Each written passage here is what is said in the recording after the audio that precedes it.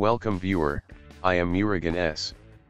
This video tutorial describes, fix it looks like you don't have applicable devices linked to Microsoft account problem. First method is click Start Settings. Click Accounts. Click Email and Accounts.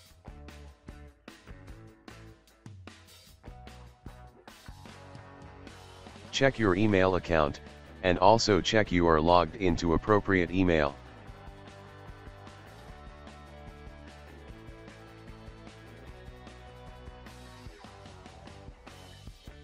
Second method is open any browser.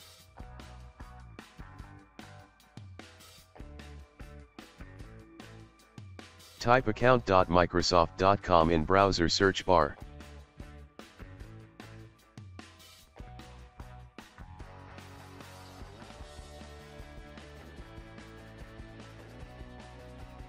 Click Devices.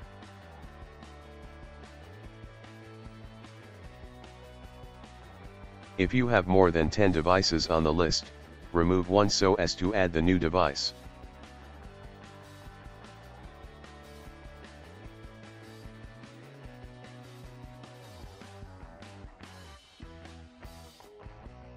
Third method is click Start Settings.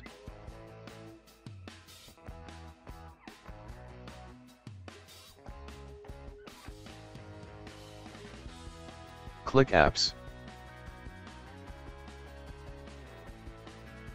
Type Store.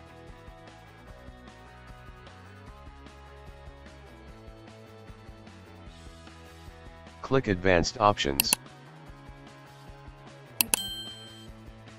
Click Reset.